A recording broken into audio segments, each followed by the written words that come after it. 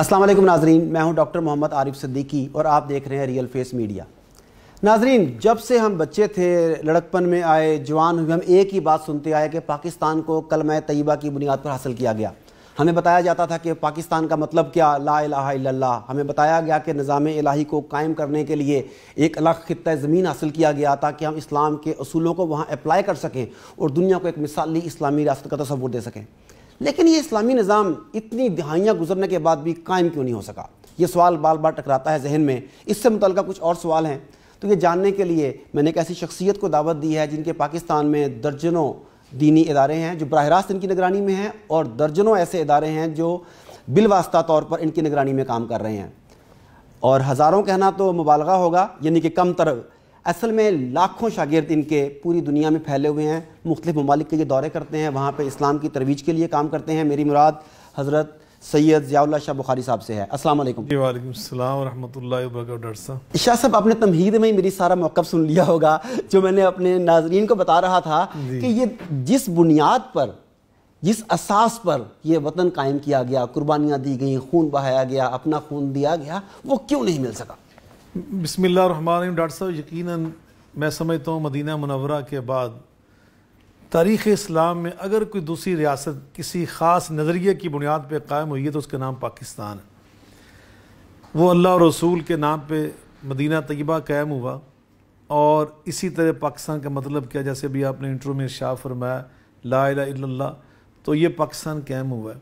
और इतफ़ाक़ देखिए कि पाकिस्तान का अगर हम अरबी तर्जमा करें ना तो मदीना मदीना मुनवरा ही बनता है। मदीना तैयबा जो मदीना तैयबा। का अगर माना करें तो पाकिस्तान बनता है पाकिस्तान का तर्जमा अरबी में करें तो मदीना तैयबा बनता है। बिल्कुल ऐसा ही बल्कि कुरान मजीद फुरकान हमीद में भी एक लफज है बलदतुन तैयबा। हम्म। वो भी पाकिस्तान है। वही तर्जमा बनता है। और फिर देखिए जब पाकिस्तान कहम हुआ इंडिया हमारे साथ ही वो भी आज़ाद हुआ इस्तेमार से। लेकिन हमारा और उनका दोनों के एक दिन का फ़र्क अल्लाह ने डाल दिया। हम 14 अगस्त उन्नीस को कैम हमारा पाकिस्तान हुआ। वो 15 अगस्त उन्नीस को कैम वो एक मिनट के फ़र्क ने पूरे दिन का फ़र्क डाल दिया। फ़र्क रात बारह बजे जब साइन हो रहा था फ़र्क डाल दिया और उसमें हाँ। उसमें हिकमत पता क्या थी? जब चौदह अगस्त थी तो रमज़ान मुबारक की सताईसवीं शब्द थी। इसमें जरा देखिए क्या अल्लाह ने नस्बत रखी शाह साहब सॉरी डॉक्यूमेंट में पंद्रह अगस्त आता है। यानी हम हम अनाउंसमेंट जो हुई सारे जब डॉक्यूमेंट जब साइन हुआ है जी। उस वक्त गालिबन घड़ी का जी वो लेकिन साइकिल लेकिन मतलब पाकिस्तान के साइन पहले हो चुके हाँ, हाँ, पाकिस्तान के साइन पहले हुए ठीक तो पाकिस्तान चौदह अगस्त को क्या हुआ तो सताईस रमज़ान मुबारक थी जिसमें अल्लाह ने सताईस रमज़ान को हमें कुरान दिया उसी रात को अल्लाह ने हमें पाकिस्तान भी अता किया। तो गया पाकिस्तान और कुरान गोया अल्लाह ने यह वाजे कर दिया इसका इस्तेकाम दूसरे की तरक्की इसकी खुशहाली वो कुरान पाक के साथ वाबस्ता है। नई बसल ने खुद भी शाह फरमाया कि इन अल्लाह यरफ़ बहादल किताबी अकवामा वही आखरीन जो कुरान से कौम वाबस्ता हो जाती है, अल्लाह उसे सर बुलंद कर देता है इन्हें हराफ करने वालों को अल्लाह ताला खार कर देता है। तो यकीनन पाकिस्तान की बका और इसकी सलामती, इसकी मजबूती, इसका दिफा और इसका इस्तेकाम, इसकी खुशहाली, वो कुरान मजीद, फ़ुरक़ान हमीद के लाए हुए निज़ाम ज़िंदगी के साथ वाबस्ता है। अब दूसरी बात जो आप इर्शाद फरमा रहे हैं कि ये जो हमारी तवक़ुआत थी, हमारे बुज़ुर्गों की तमन्नाएँ थी, जो उनकी आरजुएँ थीं वो शायद कमा हक्को हूँ मैं कह सकता हूँ लफज, वो पूरी नहीं हुई। कमा हक्को हूँ। वगरना अलहमदिल्ला मैं समझता हूँ, अगर हिंदुस्तान के मुसलमानों का आप हाल देख लें और पाकिस्तान के मुसलमानों की हालत देख लें तो फिर हमें नज़र आता है कि अल्हम्दुलिल्लाह हम बहुत बेहतर हैं। हम बड़ी बेहतरीन पोजीशन में हैं। जो लोग इंडिया जाते हैं, उनसे पूछें वहाँ के हालात क्या हैं। मैं खुद चुके वहाँ पे गया हूँ, मैंने वहाँ हालात का मुआयना किया है। मैं पूरी अला वज बसीरत कहता हूँ कि हमारे असलाफ कुर्बानी अल्लाह ने कबूल फरमाई, आज पाकिस्तान जिस बेहतरीन पोजीशन में है और यहाँ मुसलमान जिस आज़ादी के साथ और जिस बेबाकी के साथ अपने अल्लाह के दीन पे खड़े हैं, मैं समझता हूँ ये दुनिया में एक मिसाल डॉक्टर साहब, मैंने एक सौ सताईस ममालक के तलबा के साथ पाँच साल बैरून मुल्क रह कर तालीम हासिल की है। मैं पूरी ज़िम्मेदारी से आपको ये बात कहने लगा हूँ। आप भी दुनिया भर में घूमते हैं, जाते हैं, देखते हैं। जो मेरे नाजरी इस वक्त मुझे देख रहे हैं और सामने सुन रहे हैं वो सब मेरी बात से इतफाक़ करेंगे। आज दुनिया में अल्लाह और रसूल के नाम पर अपनी जान की बाजी लगा देने वाली अगर कोई कौम सबसे एक नंबर, नंबर एक पे वो पाकिस्तानी। है। एक सर्वे हुआ है यूरोप में सर्वे हुआ है कि top four nation top four nations कौन है जो हमदर्दी में इंसानी फलो बहबूद में सबसे आगे हैं। अगर कोई परेशान तबका है तो उसके लिए वो बहुत कुर्बानियाँ पेश करने वाले हैं। तो चार जो बड़े मुल्क थे ना उनमें तीन ऐसे मुल्क थे जिनका अगरचे वो सेकुलर स्टेट्स हैं लेकिन वहाँ अक्सरियत क्रिश्चियन हजरात की है उन चार में सिर्फ़ एक मुसलमान मुल्क है। सिर्फ़ एक टॉप फोर हम पाकिस्तान है। और वो सिर्फ़ पाकिस्तान है। पिछली जनरोसिटी में तो बहुत आगे हैं। पिछली ईद उल पे सर्वे हुआ दुनिया में कि सबसे ज़्यादा कुर्बानियाँ किस मुल्क में ज़िबा की गई। पिछले साल चूँकि कोरोना नहीं था तो हाजी बहुत बड़ी तादाद में सऊदिया में गए थे तो उन्होंने सऊदिया को अलग करके पूरी इस्लामी दुनिया में सबसे ज़्यादा कुर्बानियाँ देने वाला मुल्क जो था, वो पाकिस्तान है। तो अलहमदिल्ला पाकिस्तान अल्लाह ताला ने एक ऐसा हमें ख़त्ता दिया है कि जिसकी मैं समझता हूँ ये अल्लाह की बहुत बड़ी नेमत और अल्लाह की बहुत बड़ी कर नवाजी है। और आज जो यहाँ कौम आबाद है ना मुसलमानों की, ये दुनिया की बेहतरीन है। और ये मदीना मनवरा के अंदर सिर्फ़ चोर का हाथ काटना इस्लाम नहीं है। सिर्फ़ जानी को संसार कर देना इस्लाम नहीं है। बिलाशुबा ये चीज़ें इस्लाम के कवानीन हैं, इस पर अमल होना चाहिए, उसकी बड़ी खैर बरकत है। नई पसल फरमाते हैं कि इकामत हद मिन हदूदिल्ला खैर मतर अरबाइन लई रतन अगर चालीस मरतबा बारिश हो ना, खुशहाली लाने वाली तो जो खुशहाली चालीस बारिशों से आएगी ना, उसके मुकाबले में अगर अल्लाह की किसी एक हद को किसी मुजरम पे नाफज कर दिया जाए, जो उससे अल्लाह की रहमतें नादर होती हैं, वो ज़्यादा होती हैं। तो इसका, इसमें कोई शक नहीं, लेकिन ये सिर्फ़ इस्लाम नहीं है। देखिए, सखावत करना भी तो इस्लाम है। अल्लाह के, अल्लाह रसूल के नाम के साथ वाबस्ता होना और जज्बा अपने अंदर महसूस करना, ये भी इस्लाम है। नई पसल ने फरमाया कि शादियाँ करो ज़्यादा और बच्चे, क्यामत के दिन, बच्चे ज़्यादा होंगे तो इन्हीं मुकात बिकमुलम मैं क्यामत के तुम्हारी कसरत पर फ़ख्र करूँगा। तो ये भी इस्लाम है। आज अलहमदिल्ला सत्तर फ़ीसद नौजवान जिस कौम के पास है ना दुनिया में सत्तर फ़ीसद किसी नेशन के पास नहीं। सिर्फ़ पाकिस्तान के पास। थोड़ा सा हम हट गए। जी। देखें। नहीं मैं अर्ज़ कर रहा हूँ ये सब इस्लाम है मैं ये कह रहा हूँ ये इस्लाम की बातें मैं सर इसी अर्ज़ करने लगा हूँ इसी को मैं अपना नुकता नज़र देने लगा हूँ साथ कि क्या हमें ये इजाज़त है कि हम अपनी मर्ज़ी का इस्लाम ले लें? या इस्लाम को मुकम्मल लेना होगा? मसल मैं जब अपने सेमिनार्स करवाता हूँ तो मैं लोगों से पूछता हूँ कि जन्नत माँ के कदमों तले है। ये क्या है? वो कहते हैं हदीस है। मैं कहता हूँ, किस, किसने सुनी है? तो हज़ार बंदों में से नौ सौ बंदे हाथ खड़ा कर देते हैं। किससे सुनी है? वो कहते हैं उलमा से, किताब में, इमाम मस्जिद से, वालदेन ने। फिर मैं कहता हूँ अलजन्ना तहत तलाल सयूफ़। जन्नत चमकती तलवारों के साय तले है। ये किस किस ने सुनी है? हज़ार आदमियों से एक ने भी नहीं सुनी होती, या एक ने सुनी होती है। यानी हमने अपनी मर्ज़ी का इस्लाम जो हमें पसंद था वो ले लिया। हमें चोरी की सज़ा पसंद नहीं थी, हमें जना की सज़ा पसंद नहीं थी तो चलो यार ये तो छोड़ दो। लेकिन वो क्या हिंद में मुल्ला को मिली है सजदे की इजाज़त तो समझता है कि इस्लाम है, आज़ाद, हमने ये तो नहीं कि पकड़ लिया। इसी इस्लामी रियासत में जिसकी आप बात कर रहे हैं, हमने सूद के ख़िलाफ़ स्टे लिया जाके, बाकायदा स्टे लिया जाके।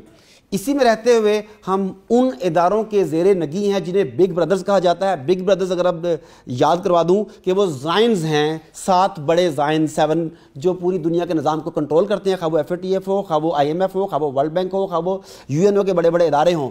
तो we are controlled by them तो ये मगलू, इस्लाम मगलूबियत का दीन है या गालिब आने वाला दीन है? देखिए जहाँ तक दीन के ताल्लुक की बात है एक है इस्लाम दीन और एक है मुसलमान। ये दो अलग अलग चीज़ें यही मैं जानना चाह रहा हूँ। इस्लाम कभी मगलूब नहीं हुआ। इस्लाम रोज़े अव्वल से लेके क्यामत तक ये कभी मगलूब नहीं हुआ ना क्यामत तक ये मगलूब कभी होगा। इस्लाम ईमान का नाम है इस्लाम अफकार का नाम है इस्लाम नज़रियात का नाम है इस्लाम अकायद का नाम है ईमानियात का नाम है अखलाकियात का नाम एक पूरे सिस्टम और निज़ाम ज़िंदगी का नाम है। इस्लाम अपनी तालीमत और अपनी बुनियादों और अपने अरकान और अपनी तालीमत की वजह से ये सबसे गालिब है। आज भी गालिब। आप इस्लामी तालीमत को लें, दुनिया जहाँ के तमाम निज़ाम है ज़िंदगी लें तो मुझे आप ईमान से बतलाएँ, आप एक तालब इलम हैं, एक आप माशाल्लाह स्कॉलर हैं, आप एक बहुत बड़े डॉक्टर हैं, बतलाइए पूरी दानेदारी से। मैं लंदन में था। एक क्रिश्चियन बहुत बड़े स्कॉलर, वहाँ पर वो रिसर्च ऑफिसर है। अल्लाह की कसम उठा के कहता हूँ, डॉक्टर साहब, उसने मुझसे कहा कि मुस्तबल मुसलमानों का है। और कहा किस लिए नहीं कि आप बड़े काबिल और बड़े लायक हैं। इस्लाम की तालीमत की मैंने कहा किस वजह से के इस्लामी तालीमत की बरकत से आज भी मुसलमान मुआशरे गए गुजरे दौर में आज भी उन्होंने अपने ख़ानदानी सिस्टम को संभाला हुआ है। सारी साजिशों के बावजूद सारी रेशा दवानियों के बावजूद आज भी मुसलमानों के घरों में जो ख़ानदानी सिस्टम है ये महफूज है। उसकी बरकत से मुस्तबिल आप लोगों का है। तो गोया इस्लाम की जो तालीमत है ये कभी मखलूब नहीं वो तो आफाकी है दूसरी मगर बात मुसलमान जिन्हें दिया गया इस्लाम वो तो मखलूब हो गया। जहाँ तक ताल्लुक है मुसलमानों का मुसलमान जब इस्लाम के साथ इन तालीमत के साथ वाबस्ता होंगे ये उसी तरह बुलंद रहेंगे जैसे इस्लाम की तालीमत बुलंद है। जैसे जैसे वहाँ से ये कमज़ोर होते जाएँगे ये दुनिया के अंदर कमज़ोर होते जाएँगे। तो ये एक मुसलमान तो है जब भी इस्लाम के साथ वाबस्ता हुए जैसे वो बड़ा मारूफ एक शेर है वो ज़माने में मुआज़ से मुसलमान होकर हम जीलो खार हुए तारिक होकर। तो यकीन ये बात तो बिल्कुल तयशुदा है इस्लाम कभी मखलूब नहीं हुआ इस्लाम हमेशा गालिब रहा है और ये गालिब आएगा इन रहमान। इससे अच्छा सिर्फ़ अगला सवाल ये है कि पाकिस्तान में लोग जैसा कि आपने कहा कि इस्लाम की बड़ी रमक है इसमें तो पाकिस्तान में लोग कराम की बहुत इज़्ज़त करते हैं। इनसे जनाजे पढ़ाते हैं नकाब पढ़वाते हैं लेकिन तर्ज ज़िंदगी में इनकी बातों पर अमल नहीं करते। देखिए जहाँ तक ताल्लुक है इनके एहतराम का इसमें कोई शक नहीं मैंने- मैंने देखा है कि मैं खुद जब मदीना यूनिवर्सिटी में पढ़ने गया पहले साल तो मेरे जो मुझे ग्रामर पढ़ाते थे नाहव वो अजरी हमारे उस्ताद थे। तो एक दिन उन्होंने पूरी क्लास में मेरे हवाले से कहा कि ये जो पाकिस्तानी तालब इम है उस क्लास में मैं अकेला ही था उस वक्त। तो उन्होंने कहा ये जो जितना अदब करता है ना मैंने कभी ऐसा शिगिर्द नहीं देखा। तो वो पाकिस्तान की मैं समझता हूँ रवायात वो थी, रवायात थी यहाँ की मुझे तरबियत थी। तो यकीन पाकिस्तान के अंदर ये चीज़ है कि इस का एहतराम बड़ों का एहतराम ये भी इस्लाम की तालीम है। जी। नहीं पता फरमा मल्लम युक्र कबीरा ना वलम यार हम सगीरा फलई समिन्ना जो हमारे बड़ों का अदब नहीं करता छोटों पर शफकत नहीं करता वो मेरी उम्मत से निकल जाता है। तो यकीन ये भी इस्लामी एक मैं समझता हूँ तालीमत पर अमल का एक बहुत बड़ा पहलू है। जी। दूसरी बात है कि मुसलमान जो है उलमा की बात नहीं मानते। मैं समझता हूँ आज भी अलहमदिल्ला बड़ी तादाद में उसूल ज़िंदगी के अंदर भी इस गैर गुजरे दौर के बावजूद मैं समझता हूँ पाकिस्तान में अलहमदिल्ला आज भी मुसलमान जो हमारी रियाया है, अवाम है, पब्लिक है, ये उलमा की बात को बहुत एहतराम देती है और उस पर अमल भी करती है। लेकिन जैसे हमने कहा, इज़ा अमर तो बे अमर तो मेरे मस्ता तो नहीं पर फरमाया कि जब मैं हुक्म दे दूँ, जितनी इस्तेदा उस पर अमल करो तो इस मादी दौर में, इस इनहताद के दौर में, इस जवाल और पस्ती के दौर में जितना कुछ मैं समझता हूँ, ये गनीमत है। लेकिन इसको मज़ीद मैं समझता हूँ, बेहतर करने की ज़रूरत है, इसको ज़्यादा निखारने की ज़रूरत है। और बिलाशुबा कराम जो हैं वहाँ भी ये ज़रूरत है कि वहाँ सहब इलम, सही जो आलिम हैं, जो मैं समझता हूँ, जिनके बारे में अल्लाह फरमाते हैं, अहल ज़िक्र हों अहल खैर हों, ज़बान के मीठे हों, करदार के पुख्ता हों, तकवे और परहेजगारी के पहाड़ हों तो इन आज भी उनकी बात मानी जाती है। लोग जाकर उनसे इस्तफ़ादा करते हैं, उनसे अपने असूल ज़िंदगी पूछते हैं मुश्किल का हल उन्हीं से जाकर पूछते हैं, और जो बता देते हैं, उस पर अमल भी करते हैं वो लोग, बड़ी तादाद में अमल करते हैं। तो भर क्या, कमज़ोरियाँ तो हर माशरे के अंदर मौजूद हैं, लेकिन उन सारी कमज़ोरियों के बावजूद पाकिस्तान का जो मुआशरा है मैं समझता हूँ, आज भी दुनिया के बेहतरीन मुआशरे में इसका शुमार हो सकता है। अच्छा एक आखिरी सवाल इस सिलसिले में कि हमारे अक्सर उलमा जब हुकूमती मीटिंग्स में होते हैं या कौमी मीडिया पर होते हैं तो इनका बयानिया इनका तर्ज इनकी हर चीज़ और होती है। मगर जब प्राइवेट मीटिंग्स में होते हैं तो कुछ और होती है जब मंबर व महराब पर बैठते हैं तो कुछ और होती है। तो इनका ज़ाहिर और बातिन एक क्यों नहीं है? मैं समझता हूँ कि ये सारे ऐसे नहीं हैं। नहीं सारे नहीं अक्सर सारे तो नहीं है सारे को मैं जाती तौर पर जानता हूँ। लेकिन वो फिर हुकूमती मीटिंग्स में नहीं जाते ना। मैं मैं नहीं, नहीं मैं जानता हूँ। हाँ। वो मीटिंग्स में भी जाते हैं। मैं उनको सरकारी जलासात में भी देखता हूँ बड़ी बड़ी मीटिंग जो कुछ वहाँ कहते हैं ना वही मीडिया पे आके कहते हैं वही मेम्बरों में हराम में कहते हैं वो बड़ी तादाद में। लेकिन ऐसे कमज़ोर लोग तो हर हर तबके में होते हैं कि जिनके अंदर ये कमज़ोरियाँ होती हैं कि उनकी बाद अवकात बात यहाँ पे मुझे मेरे एक बुज़ुर्ग फरमाया करते थे कि हक परस्ती में और मफाद परस्ती में फ़र्क होता है। हक परस्त जो होता है ना, वो नशेब फराज की परवाह नहीं करता। वो हमेशा हक के साथ खड़ा रहता है। बज़ाहिर नफ़ा हो तो तब भी साथ खड़ा रहता है। बज़ाहिर नुकसान नज़र आ तब भी साथ खड़ा रहता है। लेकिन जो मफाद पर, इसलिए उसका मौक़ कभी तब्दील नहीं होता। उसको कभी यू टर्न नहीं लेना पड़ता। इतना को मैं फरासत मिन फ़ैन यंजुर बनूर उसके अंदर ईमानी फरासत होती है। वो अल्लाह के नूर के साथ हर चीज़ को देखता जाता है और चलता जाता है। वो इन चीज़ों की परवाह नहीं करता। लेकिन जो मफाद परस्त होता है ना उसको बहुत दफ़ा यू टर्न लेना पड़ता है। क्यों? उसे कभी हक यहाँ नज़र आता मफाद यहाँ नज़र आता हाँ, है हक- तो यहाँ उसके लिए- जाता उसके लिए कभी है। बिल्कुल उसके बरक्स उसको अपना मफाद नज़र आता है तो बिल्कुल उसके उसको उल्ट भी बाद औकात मौक़ अपनाना पड़ता है। तो इसलिए ये तो ये मफाद परस्त तबका जो हर जगह पे होता है तो बर कैफ मैं समझता हूँ पहले भी मैंने ये हमेशा कहता हूँ हर तबके में आप देख लें पाकिस्तान के अंदर अहल खैर मौजूद हैं, भलाई वाले लोग मौजूद हैं, नफ़े वाले लोग मौजूद हैं। उसी वजह से अल्हम्दुलिल्लाह पाकिस्तान के ख़िलाफ़, जैसे भी आपने अपने इंटरव्यू में इरशाद फरमाया कि बेशुमार रिशा दवानियाँ हमारे दुश्मन, जैसे अल्लाह ने कुरान में फरमाया, वाखरीन अल्लाह तमून हम कई तुम्हारे ऐसे दुश्मन हैं, तुम उनको पहचानते भी नहीं हो। अल्लाह आलम अल्लाह जानता है उनको। तुम अपना काम करते जाओ, उनके दिलों के अंदर भी हैबत, मैं अल्लाह डाल दूँगा। तो बहुत सारे दुश्मन तो हमारे ऐसे हैं, हम उनको वो हमारे खिलाफ रेशा दवानियाँ करते हैं खुफिया तौर पर। लेकिन अल्लाह के फजल से उन सारी रेशा दवानियों के बावजूद पाकिस्तान आज भी मज़बूत है। आलम इस्लाम में सबसे ज़्यादा बेहतरीन फ़ौज आपके पास है। एटमी टेक्नोलॉजी आपके पास है। जफाकश कौम आपके पास है। मैं आपको पूरे वसूख से कहता हूँ, डॉक्टर साहब, अल्लाह कसम, साढ़े तेईस घंटे, चौबीस घंटों में बिजली बंद मेरे इलाके में रही एक दफ़ा।